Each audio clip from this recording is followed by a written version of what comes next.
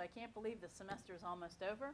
Uh, this is one of our last topics, environmental issues and mold. So some of it's kind of fun, some of it maybe not so much fun, uh, but you will learn a little bit about some potential environmental hazards in this class, what are disclosure obligations.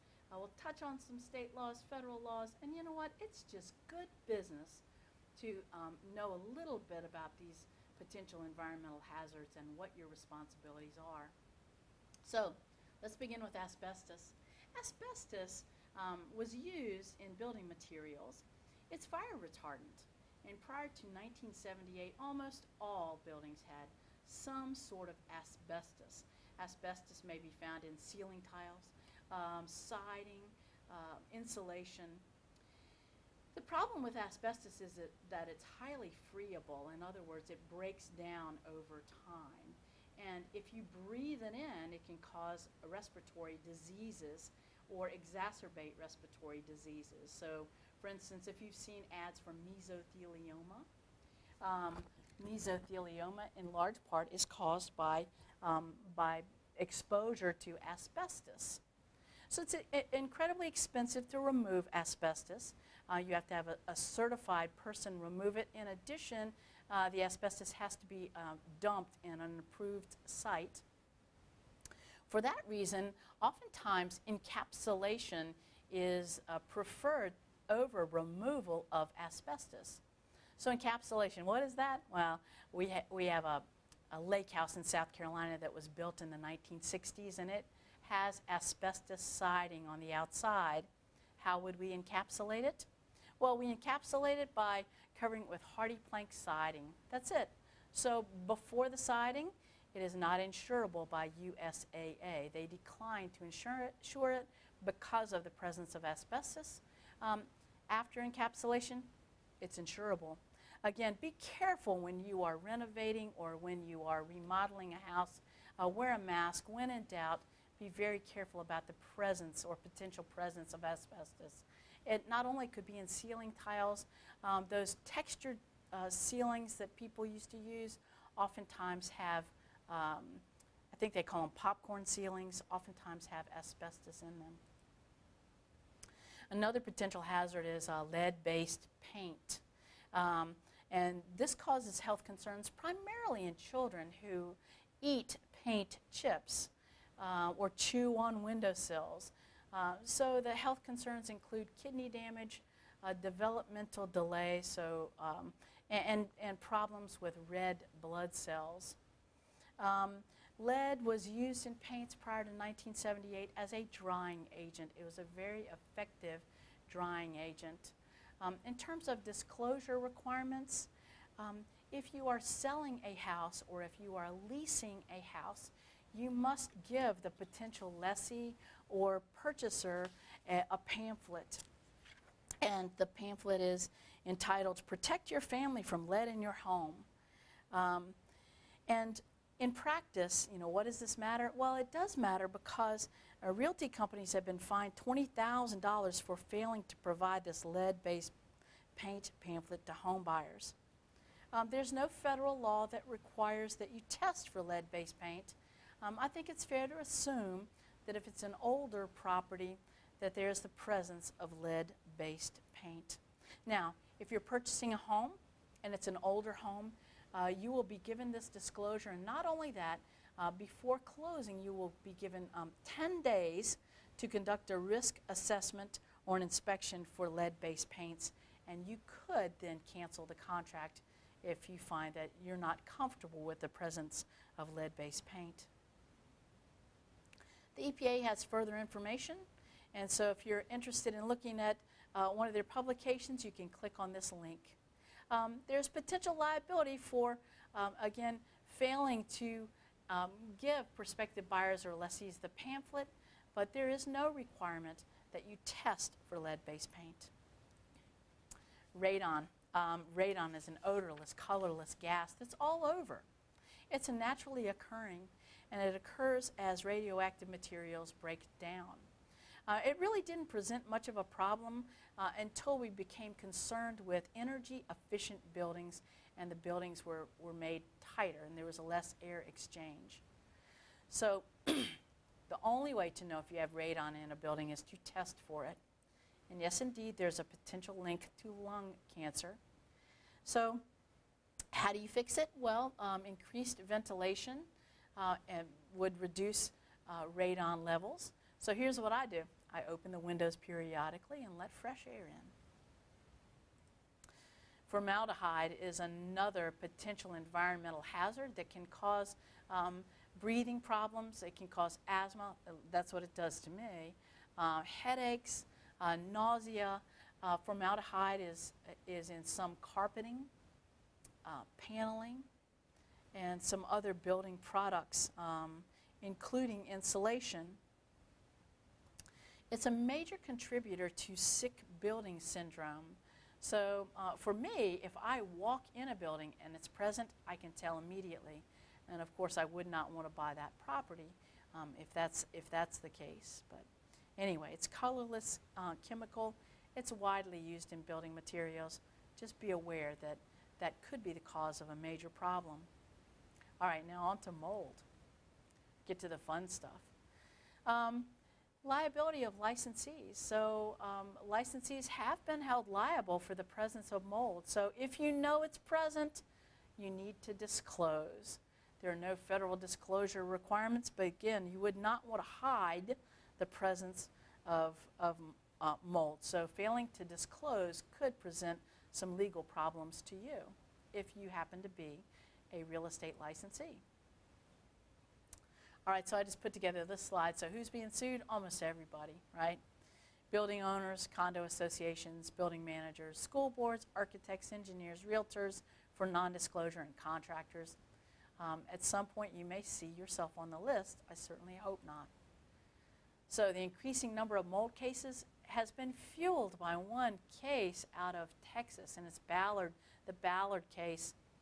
This is a case where um, a homeowner purchased a, a house for $275,000.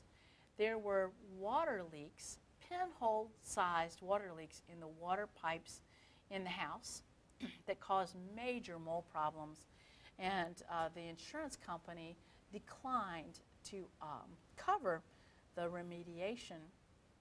Anyway, in this case, the homeowner sued, and a judgment was rendered for $32 million. It was at that point that the American Trial Lawyers Association began running mold remediation and mold cases, how to sue uh, for the presence of mold. Um, so full disclosure, I took one of those classes. I have not sued anyone nor do I plan to sue anyone, but I wanted to know more about mold. All right, so here's some of the drivers. Um, uh, 2020 had a, a, story on it. CNN, uh, Kingsmill Resort here in Virginia closed about 400 units because of mold remediation. Uh, Hilton Hotels closed a hotel in, in Hawaii to remediate mold. Um, some other people have brought some high profile people have brought some mold cases. And here's some of the judgments that have been um, recovered. So how about um, personal injury claims? So you say you can recover for damage to the property. What about damage to your person? Well, it's somewhat difficult uh, because you have to prove medical causation. And so there really is not a set dose response uh, to mold. So it's a little bit difficult to prove. However, I will say that there's certain types of mold that if they are present, then they produce these things called mycotoxins, and this is what would make a person ill. Stachybotrys is top of the list. That's black mold. You probably heard about it. Aspergillus, penicillium, trichoderma, fusarium, and the, the health implications can be serious. What's the status of mold litigation in Virginia? Do we have any cases? Yes, of course, we've had some mold cases. Um, so uh, there were a series of cases that were related to um, synthetic stucco that was being used on the outside of buildings without a water um, vapor barrier. Um, some of the factors that affect mold claims in Virginia, a couple of them are that, uh, number one, we have a cap on punitive damages. And um, in addition to a cap on punitive damages, and, and the cap is, is relatively um, low. It, certainly not anywhere near the $32 million. Our punitive damages cap, the last I looked was, I believe, $350,000. Also in Virginia, it's very difficult to recover attorney's fees, and court costs can mount up very quickly. And then the third reason that we haven't seen a whole lot of mold cases in Virginia is that we do not recognize class actions.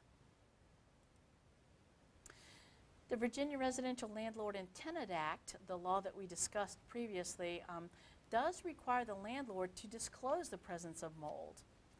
And tenant, if you, you have the right to terminate the tenancy if there is the presence of mold. All right, so I don't mean just a little bit of black mold in your shower. You need to clean that. Just get out the Comet or whatever you use and clean that off. Um, but you also have certain duties. If there's water intrusion, you need to let the landlord know right away. Minimizing the risk of mold claims. Number one on the list is eliminate moisture. Always disclose, never try to hide the presence of mold to purchasers. Um, sellers who know of, of hidden defects have the duty to disclose. And what about a prior mold problem? Again, remediate and disclose.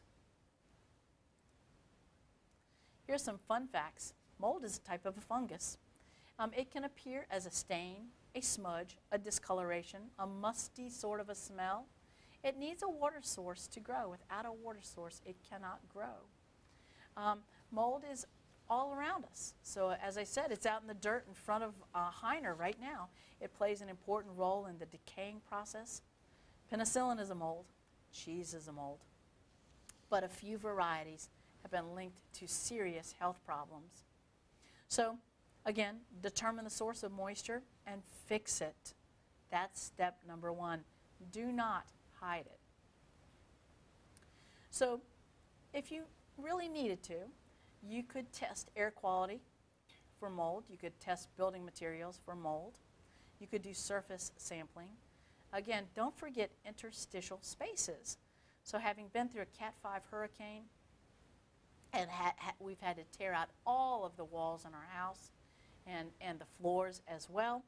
So remember, once things are torn out, you need to let everything dry thoroughly and treat, be proactive and treat for mold before it appears. Any porous materials um, that have mold, you need to tear out. So there are some standards, but there are no state standards. OSHA has some general standards um, about the presence of mold. New York City does.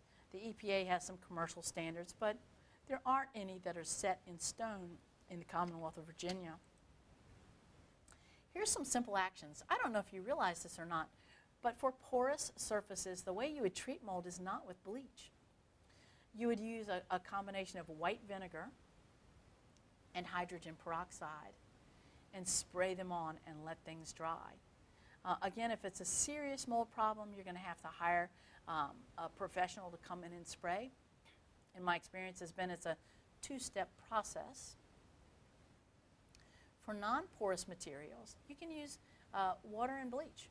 So 10 to 1, water to bleach. Um, bleach, let me caution you, is toxic. Make sure that you use it in a well-ventilated area and be careful with using bleach. So again, larger amounts of, of mold uh, require a bigger response. So you may need to hire a professional. Be careful with whom you hire. Make sure they are truly a mold professional uh, with proper training and experience. Insurance isn't going to cover mold. Um, non-pollution policies generally do not cover mold. Um, moisture control, again, is the key to controlling mold. All right, so what are some other things you need to be aware of? Groundwater. So if you purchase a property that has a well and you're going to be dependent on that well, make sure that you test for, for not only uh, organic materials, but for inorganic materials. So uh, I don't know if you realize this or not, but the EPA estimates that 40% of underground storage tanks are leaking. So let's say you buy a house in the country, this is your dream house, and you're right next door to a country store that has uh, gas pumps. You should have your groundwater, you should have your well checked for both organic and inorganic substances. So just another few things for you to know that federal law requires underground storage tanks. Those are tanks that, that store at least 10% of their volume underground. Um, they have to be registered. So there's certain exemptions um, underground storage tanks that do not have to be registered. So for instance, a tank that holds less than 110 gallons, or one that's used for farm and residential uh, uses that hold up to 1,100 gallons don't have to be registered.